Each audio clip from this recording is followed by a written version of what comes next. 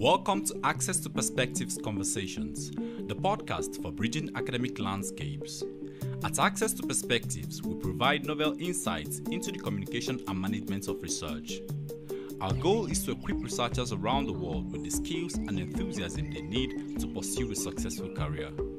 You will get insights around the topics of scholarly reading, writing and publishing, career development, project management, and research integrity, all embedded into open science practices. Learn more about our work at access2perspectives.org. All right. Very happy to have another episode of Access 2 Perspectives Conversations presenting to you, and even more happy to be reconnecting with Cooper Smout. Thanks for joining today, Cooper. Thanks, Jo. It's great to see you. It's been a while. It's been quite a while. I let's not count the years, but we've met many moons ago. Um, as we've both been involved in open science, early days of open science movement, if we want to use that phrase, before it became institutionalized, um, multi, like yeah, like multi-level, also policy driven, thankfully, but also well, thankfully policy driven by now, but so now it's very much more formalized. And um, we met in an era which is actually not too long ago. Let's not overstress the fact that it's been a few years, not not too many. Um, I think around 2015, 16, around that time. Um, that was probably yeah when I was starting to get into open science. That was the year I started my PhD. Um, and I oh. think I really yeah, didn't really dive deep into the world of open science until I tried to publish my first paper and realized uh, 17, what a mess. 16, 17. It was. Something must have been. Anyways, um, and you at the time were running Free Our Knowledge, but also, yes. as we usually start with the sessions, um, we can start there, or you just give us a little bit of a background about yourself and how you found yourself in the in the crazy world of open science. the lovely world. Um, yeah, a bit of background's always good, I think. Um, uh, I'll take you back to my first degree, which was architecture. Um, and that was straight out of school. And I really didn't know what I wanted to do with my life. And I quickly realized that buildings weren't for me, but I did love design. So, yeah, I traveled around the world trying to find my place in it. And that brought me to a meditation retreat in Thailand. And it was a 10 day Vipassana retreat, and that blew my mind in more mm-hmm. ways than one. um, and I realized that, or I felt that um, meditation and mindfulness could be a really powerful medicine for the West. So I embarked on this journey to try and understand consciousness from all angles, and and that took me to study psychology at UQ. Uh, that's University of Queensland in Australia. Mm-hmm. Um, and then during my honors year, I found that I really loved research. And so I um, joined with a cognitive neuroscience lab, a really great lab in at the Queensland Brain Institute. And yes, set out on a PhD intending to become a meditation researcher. Um, okay, and I, I, let's just pause there. I didn't even know that existed. Medit- but doing research on meditation I think well, I actually got to know about researchers on well, researchers specializing on yoga, and not mm-hmm. just what in the West we're most familiar with the actual bodywork yoga, but there's a mm. whole mm. big ecosystem and knowledge system behind, and most of it is actually about theories on worldviews and and and one component of I think four or five main major pillars uh, is concerned with the actual physical exercises that we are aware of. So what, but meditation, okay, what aspects of meditation did you attempt to research or actually do research on? Like how um, well in my meditation? Um, in my PhD, it was that there wasn't really the level of expertise around for me to um, embark on meditation research. So what I decided to do was um, focus on what I thought were the fundamental mechanisms. So my PhD was on attention. I was mm-hmm. primarily mm-hmm. in an attention lab, so that made sense. Um, but I also started looking into and researching predictive coding theory um, on the premise that these two processes, attention and prediction, are fundamental in the brain and um, are largely responsible for the way we perceive the world. And so I figured that they had to play some kind of a fundamental role in in meditative states and other changes of consciousness.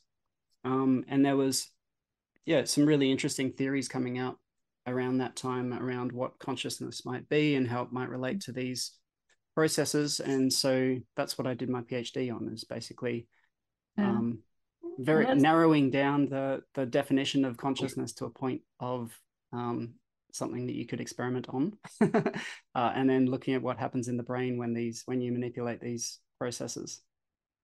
It's interesting because um, when it comes to consciousness, and I'm an animal, should I say lover? Like animal rights advocate, also aiming to do more of that through access to perspectives by looking into um, how can we improve animal welfare as as mm. societies on this world, but also for research animals or animals used in research um, contexts.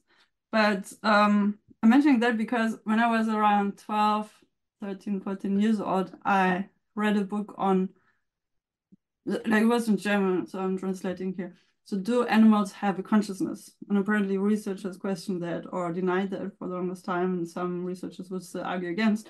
But then um, a veterinarian and a behavioralist, animal behavior, like it, knowledge, it, can never pronounce it, ethology, ethologist, um, argued very much, well, they, they had interesting attempts and kind of questioning it by the way they described it, but then made a point on, but that's actual conscious behavior. So obviously, even bees have a level of consciousness, and what is it even? So, yeah. So, and uh, what is consciousness is uh, highly disputed in the psychology world or hum humanist, uh, yeah, research arenas. But yeah, I mean that alone is is a topic to delve into for hours. But let's come back to now to your career with open science. So as much as that is exciting already, what what troubled you in your research experience that brought you into open science? Um, yeah, well, it was really um, publishing my first paper, which was uh, an extension and really an improvement of my honors work, which was um, like award-winning work. So I felt like it was worthy of being out there and, and a story worthy of being told. Um, and when I tried to publish that paper, it took four journals and over the span of two years and multiple rounds of review and myself and my supervisor had to rewrite the paper multiple times and eh, the whole process just seemed like a ridiculous waste of time um, for everybody involved and on top of that, all of the reviews and all that information wasn't being published. And I was just really baffled that um, uh, the academic system was so inefficient. And, you know, mm. coming from my undergrad days, I just thought it would function well and it would be optimized to seek truth. And I found it was actually the opposite in many ways, and it was antagonistic to doing good science. And so mm. that was like a watershed moment for me. And I, I basically did a deep dive and for the rest of my PhD started moving into the open science and meta science space. Um, and yeah, as as you know, and I'm sure a lot of the readers know that I, I learned that the academic system has been co-opted by publishers, and it's really much more of a business than um, the truth finding mission that it should be.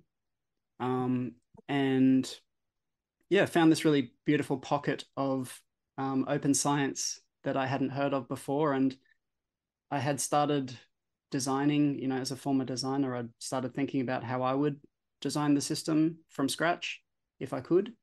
Mm. Um, and I was really happy and excited to find that already there were models that had been published along the lines of what I was thinking, and there were already journals out there that were um, transparent and community owned, and you know, exploring some of these ideas. And mm. so that was really encouraging. But then the baffling moment for me was realizing that no one was using these journals and everyone was still using these expensive, closed, inefficient um, traditional journals. Um, and so, yeah, that kind of use the word traditional because that concept is really just a couple of decades old, whereas academia as such or scholarship is like you know, much older. And then knowledge systems beyond the Western or academic one we, we talk about are as old as human existence. But so the word traditional always disturbs me, like traditional publishing, what is it? What is that even? And why do you refer to the the few but predominant ones that are actually harming the scholarly community? Um, yeah, I never know what to call them. I, so I, I never I never know what to call them. I don't I don't want to um term them something like soul scabbing journals, but um parasitical journal journals. Um, it's all kinds of words we could use. Uh, I guess like high impact is is a word that's often used, but high impact itself is not necessarily a, a problem. It's you know it's the business model within something being high impact that is the problem. Um, yeah. So yeah, I, I never know the term to use, but I guess privately owned, yeah, profit driven journals yeah, I think the profit driven I was talking to editors or people who work for certain or the those usual suspects or five or seven or nine, depending on who you count into this. Hmm. Um yeah, the, the sort of publishing houses. Um they they would always argue, well, we're also we were actually serving um the community, but then I think it's yeah, over the years I've learned that it's it's just a screwed system due to the lack of commitment by other stakeholders, including funders, including institutions, governments, to chip in for what the actual costs are. So those few had an opportunity and a, kind of a, a gap in the market to fill. And now we're we have other opportunities, but they are under under resourced and under underused, as you pointed out. So yeah, and I think you can add another stakeholder in there in the researchers themselves because we are all you know part of the problem slash mm-hmm. solution, mm-hmm. um, and as much as we can point at stakeholders, it's also up to us to be the change, and and that is the premise behind the open science movement. But yeah, I guess I I was trying to understand why most people weren't already using these platforms and and come from a perspective what can i do as an individual to try and create change mm. um, and when I, the weird thing is when you talk to everyone everyone knows that the game is broken you know and everyone knows that it's corrupt and that these journals aren't in our best interests but um, that everyone's also trapped by the same game that we're playing we keep playing this impact game because that's what our salaries depend on and it's what we've trained most of our lives to become mm. and and there's very little option for the average researcher to sort of step outside the mold and and not play that game because that's how they're being rewarded as you say by the institutions mm. and as the by the funders and so it's this ridiculously interconnected web of incentives that keeps people trapped mm. into playing this game yeah, and that seems to be the hardest thing to change. But there's several institutions now, thankfully. So now mm. we're an institution now we're trying to change the paradigm. So we we're pushing on all ends of the circle. If that makes sense. Mm. So it's really like a squaring the circle exercise, but many people are pushing the circle into the square shape, or vice versa. But um, I want to refer back to your med meditation and um, meditation background because that's interesting. With access to perspective, there's also kind of included um, well-being of any sort into the portfolio because I think that's key and is also a cornerstone of open science, reminding us of our core human values and principles, mm -hmm. which ensure physical and mental well-being to start with, and now in a professional environment. Um, and that's what the open science um, principles reminds uh, remind us of things like transparency, accountability, uh, colleagueship, and these are things anyone can easily subscribe to and are also written up in several um, what's it called? Uh, what's the acronym now? Um, scientific best practices and different mm. variations. There's that, or research best practices, or yeah. Um, so it's nothing new, but what what we are well aware of and what you just described, like the publishing incentives and just a few overpriced journals, to either force the public or the readers to pay. And that was the paywall era. And that's where we started off with the movement, which had started way before, also with open access initiatives, Budapest um, initiative and others. But in around 2014 and, and counting until today, we've, we've had a new wave of enthusiasm and advocacy, which now thankfully led also to the UNESCO Open Science recommendations postulated just um, two years ago now. And um, we're, like many are also working towards implementation. What I want to say is, what's your experience and observation of um, well-being through your lens of having a meditation focus background? Mm. sense? And then your experience and activism as an open science advocate for science. Did that sentence um, make sense? I think it became quite a long one. no, I understand where you're going with it. Oh, okay. um, yeah, I I have a very personal experience with mental well-being. Um, my PhD um, drove me to a, a breakdown, really, um, where I burned out, and it was a particular interaction between my perfectionism and the high standards that are placed on PhD students and academics in general, and the, you know, as I saw it, the narrowing pipeline of me getting a job and then getting a professorship, you know, working towards where I wanted to be in academia seemed like an impossible task. And so I placed all this pressure on myself in my PhD and ended up burning out, um, as so many people do in this high pressure system system that mm. we've created.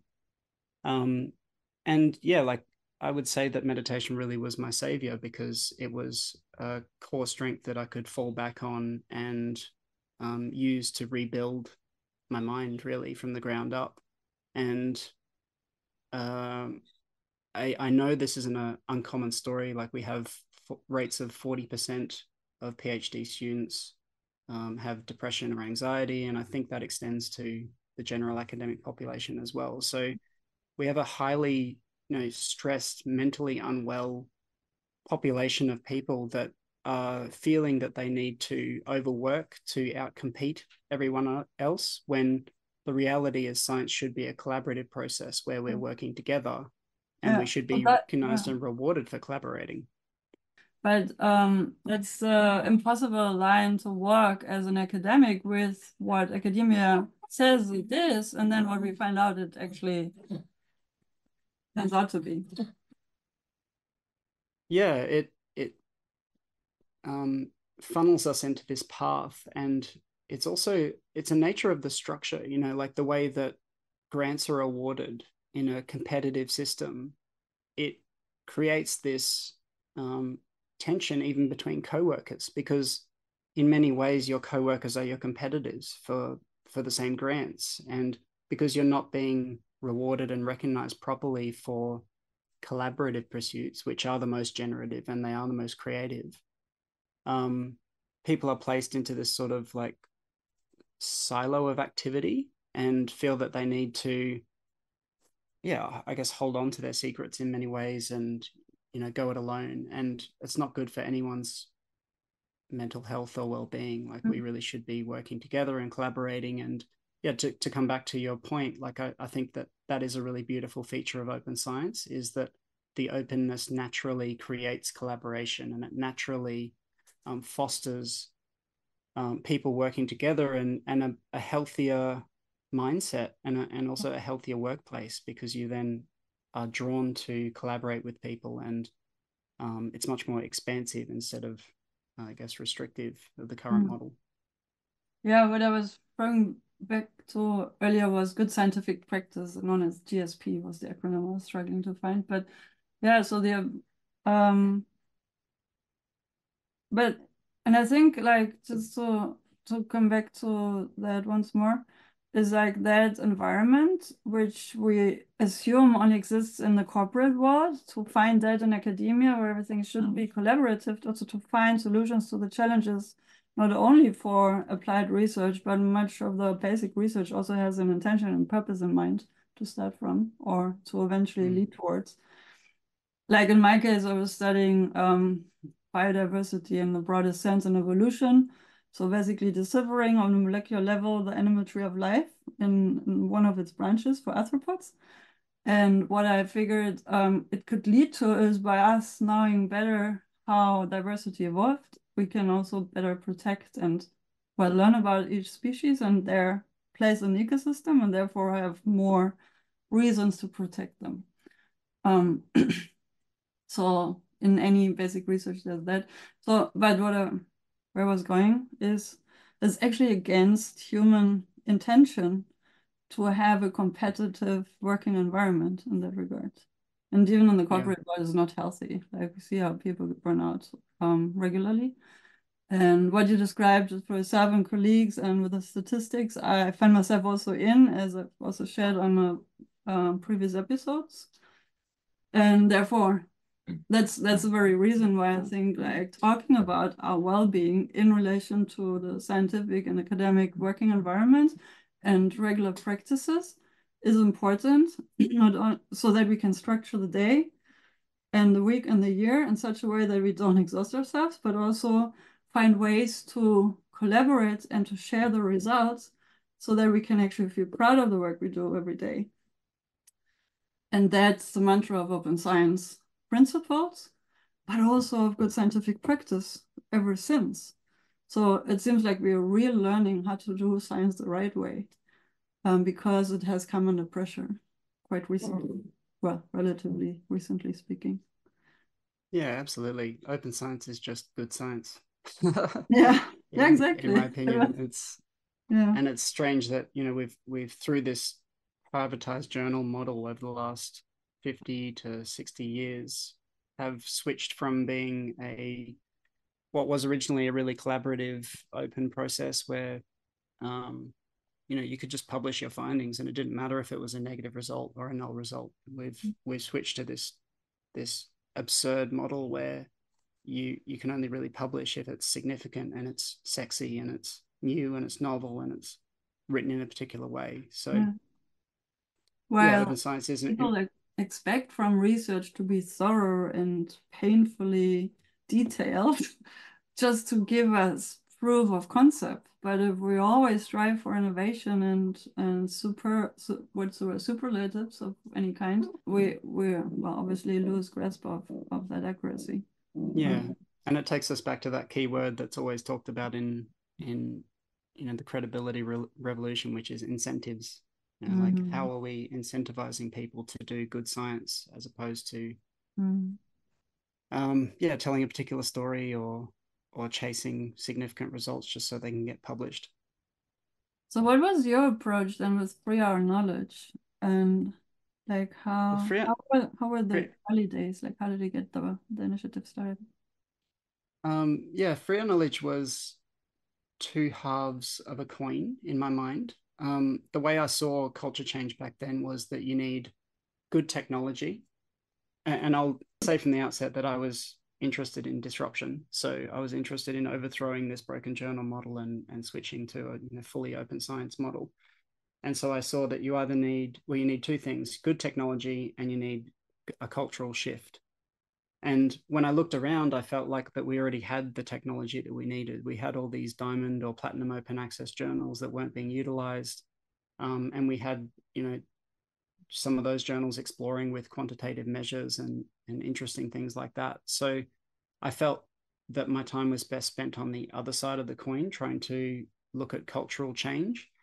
And the way I saw it, I think a bit simplistically at the beginning, was that you know there's all this value being poured into journals, uh, and the researchers through their publications and their reviews are continually propping up these high impact journals.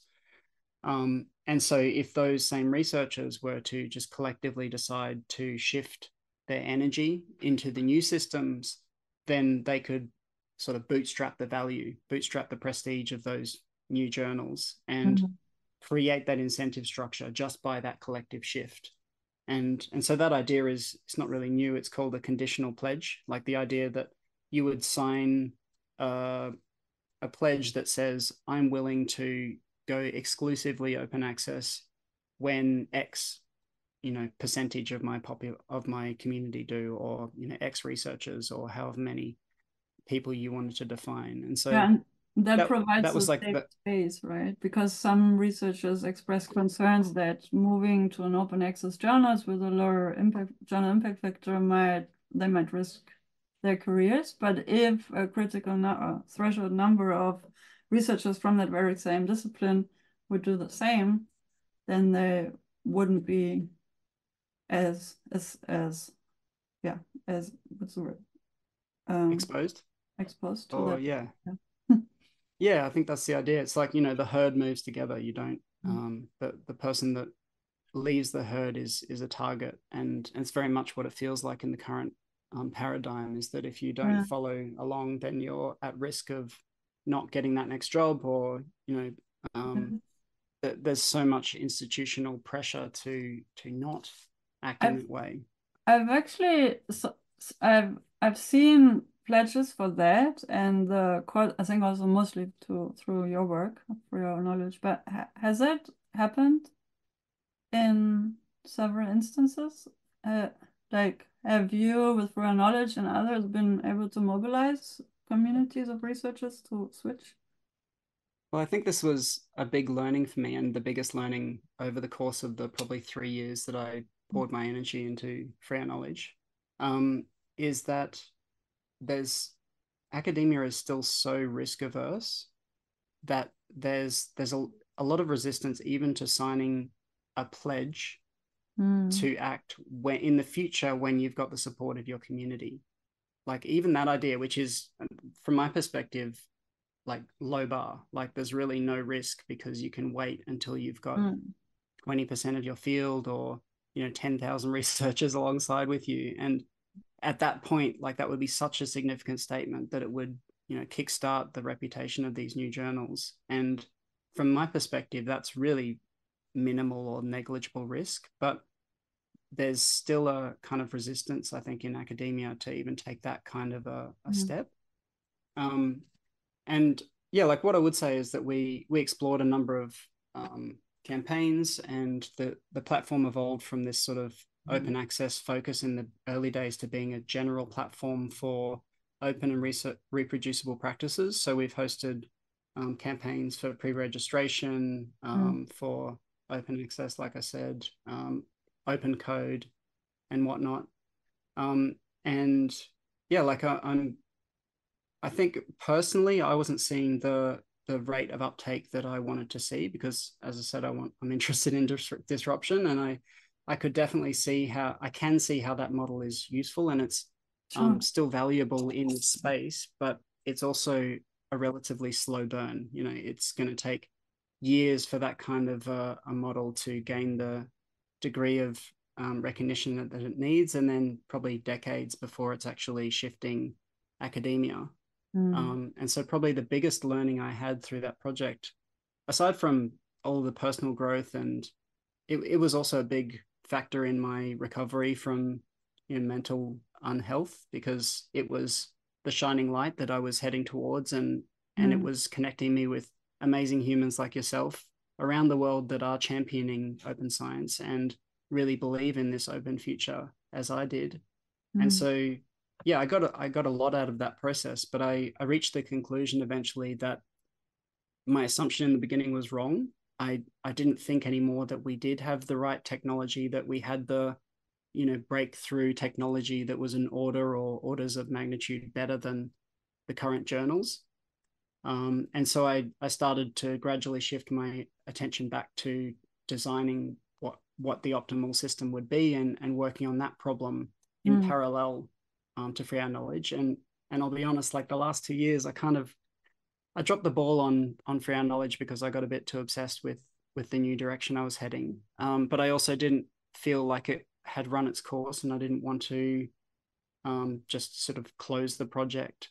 Um, and so happily last year, I, I received some emails from two separate groups of researchers that were interested in this idea and wanted to pursue collective action. And so we've now handed over the, the project to a new board that are um, hosting a new campaign. And that campaign is Oh. much simpler and it's um, based on a lot of the learnings that have come out of free our knowledge which is keep things Mm. simple as low bar as possible um, and it's basically you know it's the, as simple as it gets now so it's basically one person can pledge to publish in one platinum open access journal in the next five years and the idea is like we start super simple super low bar Mhm. um, get broad traction with that really simple campaign and then we can still build on that and and move the community through increasing levels of you know open science-ness as we go on Nice. So it's still the same network, uh, same website, right? freeourknowledge.org. yes it is Yeah, okay, cool. So we'll link that for sure in the show notes so people can access and pledge, pledge people, make your commitments. Um, even message like, uh, is there also a place, or this might be another facilitator, or um, to have a place where people who already made the commitment to showcase, like, hey, I've already published, I don't know, five papers by now in like Diamond Open Access Journals ABC like to lead by example kind of thing. Um just a wild idea. Yeah we yeah we have a i mean we have a slack space that's primarily just being used by the organizing team right now um i mean i always i always found that twitter and those sort of you know socials Mm, platforms were a good place to to advertise and try and let people know about what you're doing in the space. Um, we had dreams of, um, yeah, building a, a bigger forum and um, having that sort of discussion space going Yeah. as well.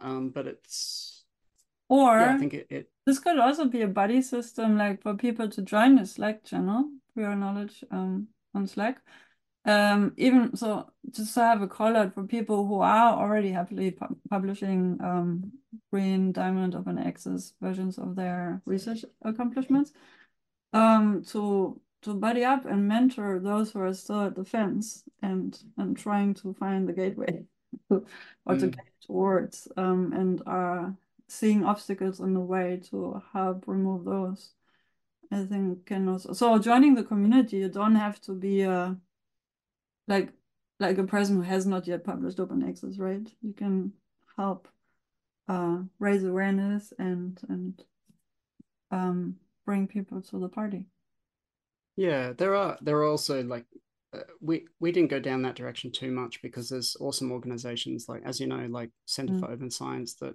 that host webinars on this stuff and ASAP Bio who who are big in the preprint space and you know will um, host regular webinars where people can talk about issues and um, concerns or help help people through the process.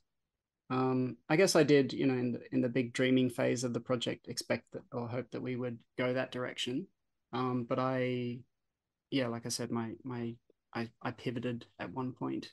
Yeah, Um, no, of course, no, I don't wanna. Um, it's not. I'm not trying to say what you could have done or what the new team now could engage in. I'm just trying to say, okay, whoever finds this interesting, check it out and and see how what else you can learn about open science because there's many resources listed still on the website and it's like it's just a beautiful initiative to get started and to to to make that pledge and to encourage others again, like to yeah to spread the word also about real knowledge. Um, so what's keep what kept you busy over the last two years then? Uh, oh, the last two years have been even more of a wild ride than my academic journey. Um, so yeah, like like I said, I I kept designing what I thought would be a useful model, and I was I was nearing the point of a model that I thought could help disrupt the journal industry. And in fact, it's it's based on an open evaluation model, and it is quantitative. So it's based on this model that there's various versions published in the literature where anyone in the community could rate uh, and review any contribution, so any paper, on a number of dimensions. And, and in doing so, it creates this you know, multi-dimensional matrix that, that represents the diverse qualities of different contributions. Uh, and my idea was that if we had such a matrix, we could train AI or we could use those matrix that matrix to filter information filter contributions to find the most high quality contributions. So we could really pick out the cream from the crop. Mm. And if we did that, then we could create a, a new set of journals that were kind of hierarchically based. And it could be um, sort of tiered in a way that those top tier journals within this family of journals um, would generate prestige because it would be based on the transparent ratings of the community. We Mm-hmm. could then optimize to select for the best quality content in different, you know, um, dimensions of interest. So replicability, transparency, you know, all of the things that just make good science. And by highlighting those qualities to the community, we could then entice the community to not only read those really high quality open science articles, but also to want to be published in that system, in that ecosystem. And so that was like a model that I was developing that I thought had some legs and could potentially help to disrupt the journal Mm. industry. But I was still, yeah, I mean, I was I was feeling like it's it's quite a long timeline still, like it's still going to take a number of years before we could generate prestige within that model and start to attract and incentivize contributions. Um, and I was also feeling like there's still a lot of risk aversion in in academia to try something like that because it's still quite a it's a radically different model to what the current system is. And and when I talk with people, I I got the impression that um yeah, it was still sort of being viewed as something too renegade, and, and there are a lot of, uh, I guess, perfectionistic critiques that would come up. And my perspective has always been, can we just try stuff, try something, and and see what happens? Because as long as we're taking a step towards the goal, then we're learning and we're making progress, and we can just keep taking steps. But there there tends to be this feeling in academia of kind of, I don't know, worry about what might happen in the future. Uh, and I feel like that can be a roadblock sometimes towards making progress. Um, and so, yeah, this sort of culmination of this feeling like I, I wasn't in the right space to test these ideas um, led me to leave academia. Um, once I published my my finished, I, once I completed my PhD, I left and um, in parallel had been this was the time of COVID, and and so I was observing all of this, you know, uh, misinformation going around and really Mm. conflict of different perspectives between my various groups of friends, like those my my friends in the creative and festival space and, and my friends in the scientific space had very different ideas. And so I was feeling at the time that I um, that we could benefit if we had safe spaces where we could connect and um, connect on like a heart level, I guess, realize that we're all, you know, the same fundamentally um, and recognize that we're not the enemy, but actually the, you know, bad information that we're being fed by these broken systems is the enemy in a way. Mm. And, and to try and find spaces where we could collaborate and communicate and um, yeah, have that diversity of information and ideas out on the table so that we can at least um, figure out together how we want to move forward. Mhm. Um, and so that was a idea for a new festival that we prototyped in um, November of 2022, just as we were sort of emerging from COVID Mm. um, in Brisbane in Australia.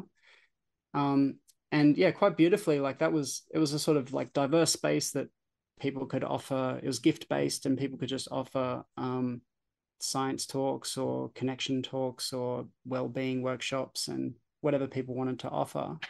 And I realized afterwards that actually that's the perfect space to prototype because it's diverse and it's inclusive, and there's lots of people that aren't technically minded there that Mm. we need to cater to as well if we're going to create a truly global you know citizen science system um, and it's also risk free well low risk at least you know like there's very it's a blank slate when you go to a, a festival and people talk about them being like the, being as a container because you can kind of let go of what you'd normally do in the real world and you can just explore and create and you know surrender to the space and and so it created this really safe space where we could not only um, like explore contributions that we wanted to give to the community, but afterwards we ran our first prototype of this model that I'd been developing Mhm. for academia using the contributions to the conference, uh, sorry, to the festival.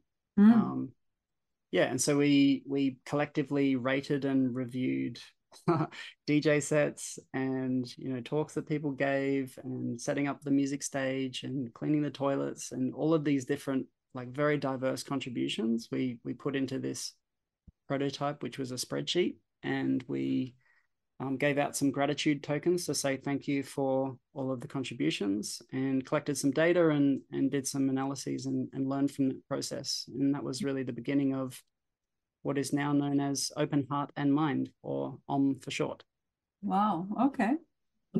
Nice. It sounds like wow a perfect blending of some of the best features that the open science community has brought to life such as from like the journal rating you mentioned, um, the Center for Open Science has developed a thing called Top Factor, a metric for journals to assess or to rank journals based on their implementation of open science practices and um, calling, um, calling upon authors to submit to them to adhere to the open science principles and standards but then also the collective effort that open science um, communities um, also practice and walking the talk and talking the work kind of thing. And and then the acknowledgement approach um, reminds me of the credit taxonomy.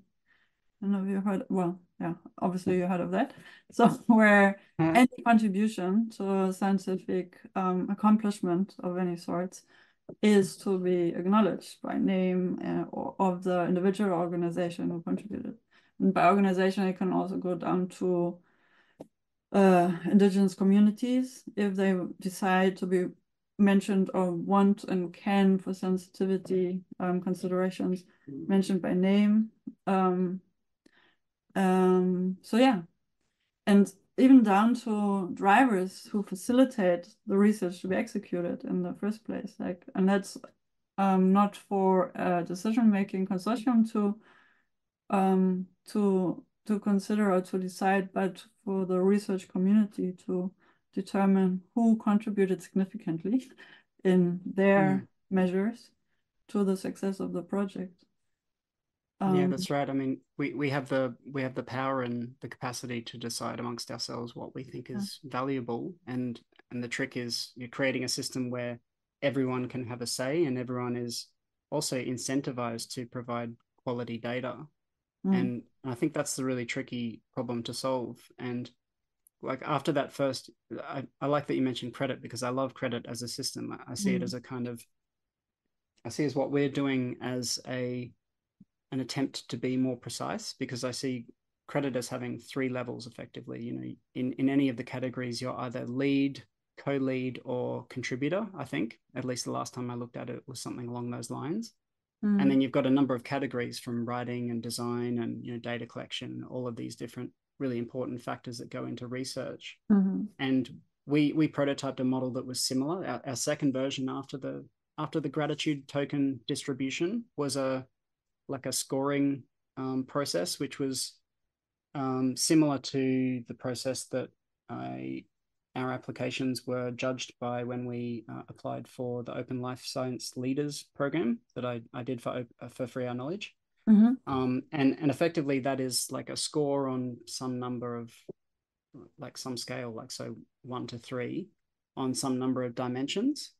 And so that's that's another model that we prototyped. And it it works well for some use cases, but the problem that we found is that it's not it's not as inclusive as I wanted the model to be. So I, I wanted a model that could incorporate any type of contribution and and the community could effectively calculate the relative value of that contribution. And mm. the problem with a sort of rubric style model um, like credit is, is that you need to define those levels. So you need to really have a definition of what is a lead and what is a co-lead and what is a contributor for mm. each of those categories. And when you're talking about really diverse categories, like beyond just publishing a paper, yeah. it it gets really unwieldy because you need to write a new rubric for every single type of contribution. And and so we actually we didn't get far into the prototyping of that before we realized this just wasn't tenable. Like we just couldn't use this for the festival case. And if we couldn't use it for the festival case, then diverse co- communities couldn't adopt our model. Mm. And that's really important to make sure that this is inclusive and and accessible. So, um, so yeah, like that eventually led to the, I, I think the breakthrough idea, which I think is the real key innovation of the model that we're pursuing now. Um, and it was motivated by um, my studies actually. My in my PhD, I did these studies that were um, a two alternative forced choice paradigm. So what uh, what I mean by that, I was exploring awareness of objects, and so I would present people these flickering patches, um, two patches, and I would ask them to tell me which of the patch contained the signal hidden mm-hmm. in the mm-hmm. noise. And what we know is that when you force people to make these choices, even though they not, might not feel that something's, you know, actually present, they are better than chance. So there is a subconscious, you know, recognition that something's going on there. And so you can, t- what that means is you can tease out people's subconscious preferences and biases, even when they're not sure, you know, which they would actually want to want to pick. Interesting. Um, and and the other thing it does is it makes it a really simple paradigm for people. So you know, choosing one of two things is really really easy. Um, anyone can do that task. And in the context of a festival, you don't need to know all of the interconnected moving parts about you know who did what and what all of the contributions were. You can just literally just ask someone what do you think is more x? Like what do you what are you more grateful for this dj set or the person that cleaned the toilets for four hours? And although that seems like a really you know awkward strange thing to compare like very diverse categories it is still on your urgencies at the moment but yeah it's a matter right, of personal moment. preference Absolutely. It might change depending on what time of the day you ask someone, but but it but it does it it is doable.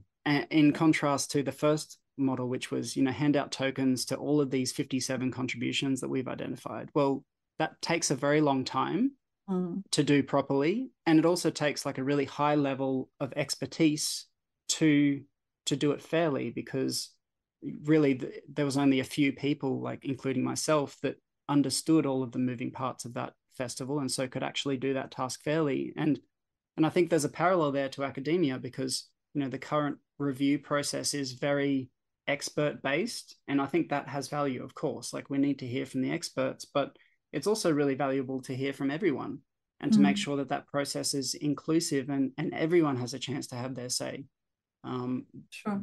from from every level to you know the absolute novice to all the way up to the expert and isn't that um, also that brings me back to the question of why do we do research in the first place? And your experiment um, or piloting exercise uh, brings me yeah back to that very question. And what's your what's your take on to what extent should the target audience of of why we do the research in the first place, which is citizens at large, um, reserving societies or the environment or the planet per se, but usually humans. I think Western research is mostly human directed, um, so self-serving ultimately.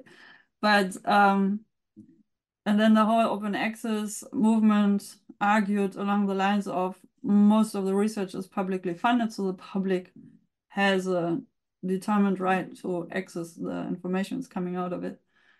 But now so acknowledging, but also acknowledging the contributions towards research, even though by by and also by non-academics, and that's I think that's a like never-ending discussion that citizen scientists continue to have.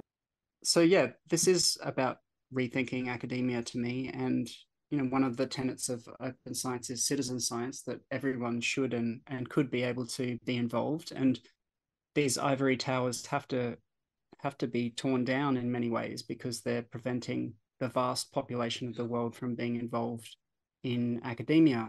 And what i was imagining was what i've been working towards is a system where anyone in the world could contribute something meaningful and the community could collectively decide is that valuable and mm. we could hmm. do that without institutions telling us what we should think is valuable. We can just collectively decide amongst ourselves, yeah, we think this is valuable.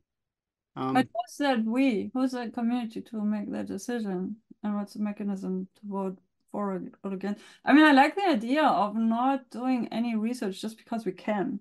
and that's the excuse of some researchers doing some weird things to to the just because for the sake of research i think we're beyond that uh, aspect of knowledge gain. We have actual issues to solve and just because we can we shouldn't do all kinds of creepy things that people yeah.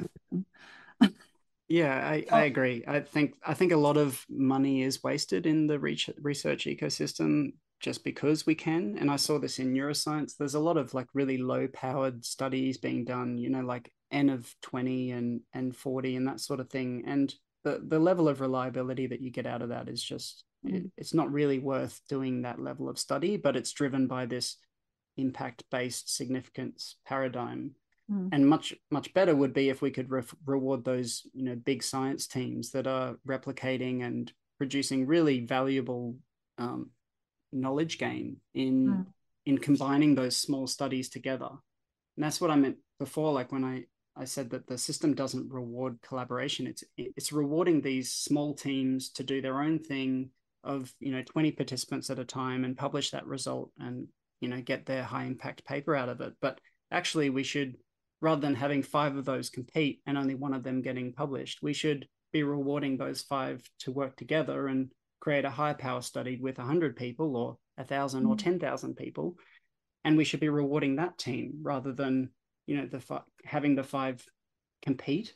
Yeah, um, and actually make so, research results replicable across the world, where otherwise we only have like small snippets of something, lightning moments, light bulb moments. Yeah, and so mm. before you asked, like, you know, who is who is doing the deciding of what's valuable? Well, the idea of creating a universal model is that the community can self-form. So this model that we've come up with is so um, simple, but yet flexible that I believe literally any community on the world, not just in academia, like in arts, in the environment, could adopt it if they wanted to. And they could adapt it to suit their own values and the types of contributions that they are um, wanting to review and recognize and reward.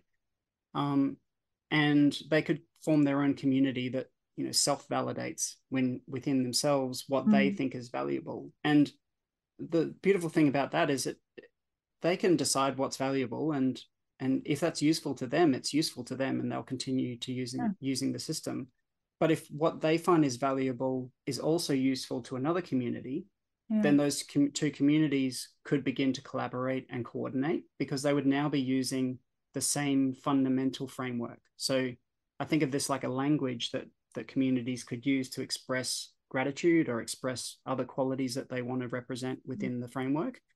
Um, and with that language, it's digitally encoded. It's it's written into the code base, and they could form a new uh, cross-disciplinary um, layer with which they can communicate value.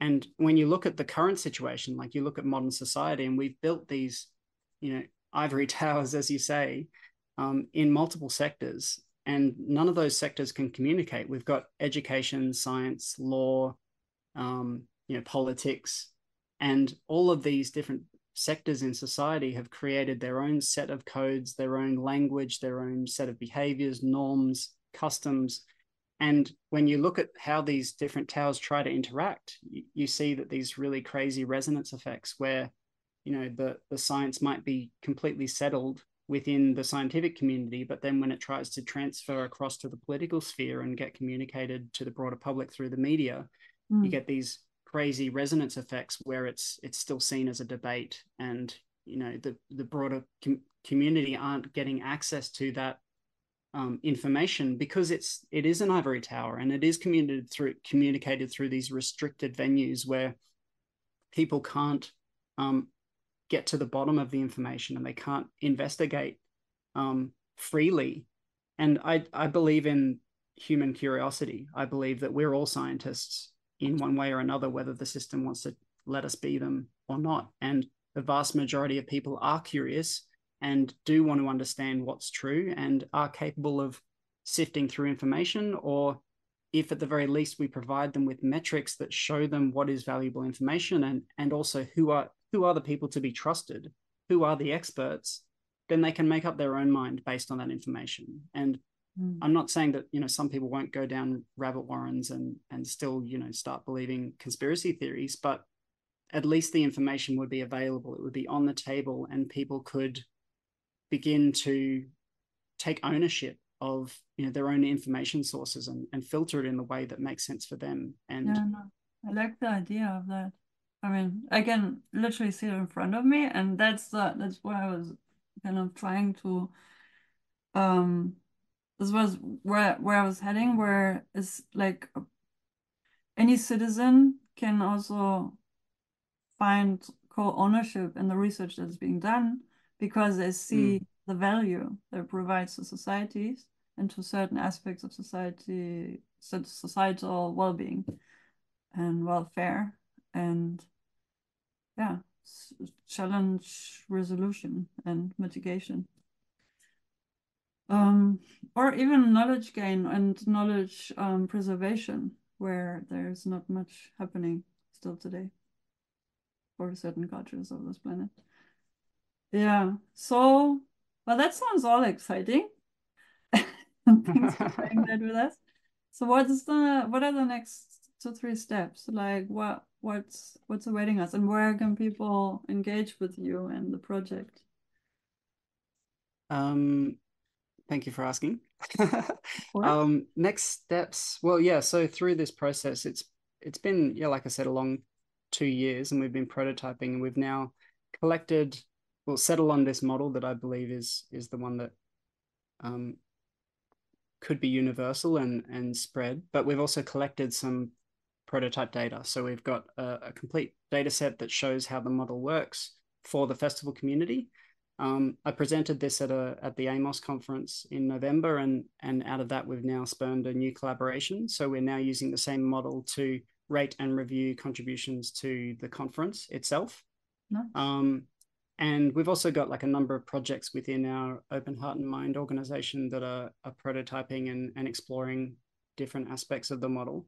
Um, mm. Um, but I just uh, am currently on the back of a, a, tour through America, and we presented at a, another festival in Texas, and we've now started a collaboration with those with that community as well. So, like the way I see this moving forward is, we're still at the prototyping stage, but looking for communities that are interested in this idea and wanting to explore the model because the more we can you know demonstrate the different use cases, then the mm. more we can show the universality of this um, this system, this framework, um, and begin to build that network where different communities can start to communicate value, like I was saying before. Um, and so, and really the yeah the big next step is funding. So um, now that we have this data set, I'm now kind of re-emerging from my turtle shell and um, um, reconnecting with good souls like yourself um, mm. because I'm I've I've learned a lot personally. It's been a big journey of growth the last two years, and we've been you know building a community, and that's been a really new area for me. Um, we've also merged with a charity, so um, we're now a registered chari- charity in Australia where we can accept donations. Um, but yeah, with the the data, the idea was always once we had some data to come back to academia and and start sharing it and and seeing what people think of the model and and exploring different use cases from every level of academia. Um, and so this can be as simple as you know a journal club meeting um, to as high level as you know public publishing papers and rating and reviewing each other's papers and that sort of thing. Um, so the what I'm thinking for me next steps is to yeah get funding, but also particularly I'm focusing towards looking for fellowships because I'm feeling like I have had my had my head a little too much in the turtle shell the last two years, and I haven't really maintained the the network and connection that I've I I was building with Free Our Knowledge, um, and also just feel like I'm still out of my depth in so many departments in this um, in this project, and so I'm seeking mentoring and um, wanting to connect with like minded souls again. Mm. Um, but it sounds yeah, so like it was a necessary step to to to dive deep and and kind of find a safe space, but also isolated space for some time with just a few selected people to yeah, just to to play around and develop the ideas and the concepts and to where you are now and you're not starting again from scratch. You're building up on what you've built with uh, free our knowledge. And the connections are all still here. So that's good. Yes it's and it's really exciting all, to see that in yeah. most yeah. Yeah it's exciting to see that in the in the time i've had my attention focused elsewhere that there's there's has been that sort of institutional shift like you say and that there mm-hmm. has been a lot of movement in this direction everything from unesco to you know the white house declaring last year as the year of mm-hmm. open science and so it, it is feeling like um, there's that sort of top down and bottom up momentum now uh, and I think that was a really big benefit of COVID as well, is that it mm. showed people the power of open science and the necessity for um, making information available to everyone. Mm. Um, so yeah, it's feeling like a really exciting time to be in this space and and to be sort of re-emerging into the academic yeah. sphere. Um, and yeah, I should say as well, short term, actually, something I'm really excited about is I'm going to be bringing the AIMOS data to SIPS conference, which is in Kenya in hey. Africa. That's so nice. Yeah. I mentioned that before before this um, recording we're having now, and well, that's cool. But can you just explain the acronym? Is a is a like an annual conference for the psychology um, community. SIP stands for what was it again? Yes, it's the Society for the Improvement of Psychological Science, mm-hmm. and it was. I see it as really like the first conference that um, has now sprouted different versions. Like there's there's various sort of open science and meta science conferences now, but it, it really started with SIPS in the field of psychology. Mm. Um, and it's a really it's just such an exciting conference because it's kind of like it adopts the open source unconference model where it's not so much about like they do have keynotes, but it's really the focus is on collaboration and you know proposing new ideas and developing them on the fly. And so they tend to have you know open slots where you can just propose a hackathon and and jump in with like-minded people and get cracking on a problem. And it's really generative um you know as most of open science is. Yeah um, i just remembered who i should definitely put in touch with when it comes to kenya. We're based there and also from the psychology ecosystem. So you'll get a list of names. Great. And it sounds like there's a like SIPS is being held in collaboration with um, I'm not going to get the name right. We can put it in the show notes. Um, I think Butara Institute or something like that. That's like a um, behavioral change institute in Kenya. Mm-hmm. Um, so I'm really excited about like learning more about that and and hearing about what they're doing on the ground and, and seeing if what we're doing could be useful to an organization like that. Because yeah, I believe I believe what we're creating is yeah. that's the target market. You know, the the disempowered nations around the world that have all the value to be adding to science but aren't allowed into the game. Well, we're we're creating a new game that anyone can play, and um, yeah, I'll be looking for interested people to to chat with and and potentially collaborate with over there. Cool. Thank you so much for doing all that work. And I know it's it's kind of um, an out of necessity, also because you you're very much embody that role of initiating initiatives like or initiating campaigns really of of a large scale and momentum to properly change paradigms but sophisticatedly so like with actual hardwired information as a baseline. So it's not out of the blue but um yeah it's basically like how do we say like i i, I keep having this german expression in mind, but sophisticated, uh, well-researched initiatives to to shift the paradigm properly. And I'm really happy that we're reconnecting now and very excited for the next few weeks and months and years of co-creation, collaboration, and you know, rejoining once every um, once every so often to to touch base and to see how we overlap and can join efforts to accomplish those ambitions. One step oh, at a time. Thank you, Jo. That's yeah, one step. That's it.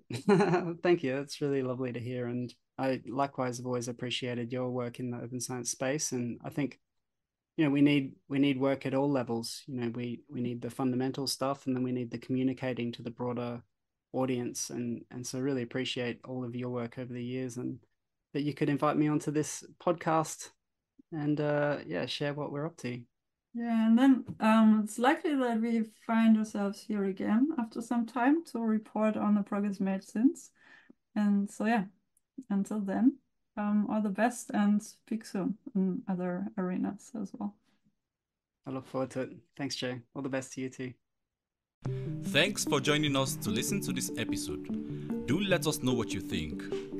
You can email us or connect with us on our social media channels, which you can find on our website at access2perspectives.org. Email us at info at access2perspectives.org or book a call to explore how we can support you with your research planning, management, and publishing. Welcome you again soon for our next episode. Until then, have a great time.